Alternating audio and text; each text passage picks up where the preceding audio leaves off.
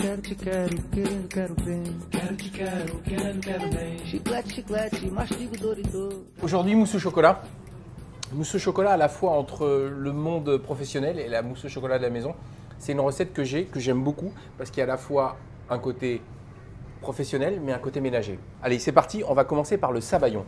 Le sabayon, on met les jaunes d'œufs, toujours nos très beaux jaunes d'œufs de Gilles Dalbar. On va mettre à, à fondre le chocolat au bain-marie. Pour le sabayon, on va mettre l'eau et le sucre et on va le porter à ébullition jusqu'à ce que le sucre soit fondu. Allez, ça bout, c'est à ébullition, le sucre est fondu. On va le verser sur les jaunes, très chaud, et là on y va à fond. Et ça, on le laisse tourner jusqu'à complet refroidissement.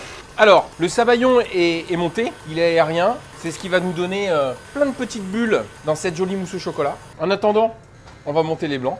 Les blancs, on va un petit peu les saler. Alors, le chocolat est fondu, il est chaud, voilà. Les blancs sont montés, voilà. Là maintenant, il faut aller vite.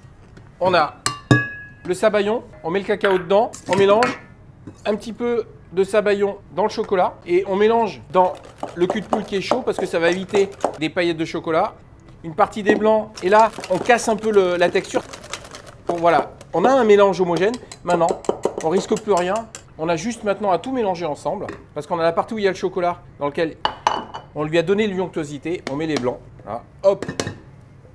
On reprend le fouet. On mélange comme ça. On fait attention de pas casser la texture. On reprend la spatule. On redonne, allez, deux coups de spatule. Moi, je préfère qu'il reste un tout petit peu de, crème pas mélangée ou, blanc d'œuf et d'avoir une mousse au chocolat un tout petit peu plus aérienne. Allez, là, on passe 10 minutes au frais juste pour que la mousse au chocolat se refroidisse, se rafraîchisse, mais pas qu'elle refroidisse. Parce que ce qui est bon dans la mousse au chocolat, c'est qu'on en mange tempérée. Sur le dessus, un petit peu de gruau de, chocolat et deux copeaux de ginger.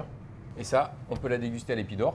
Ou sinon, vous la faites chez vous, en famille, et vous verrez, c'est un régal. C'est une mousse au chocolat assez équilibrée, pas trop sucrée, pas trop amère.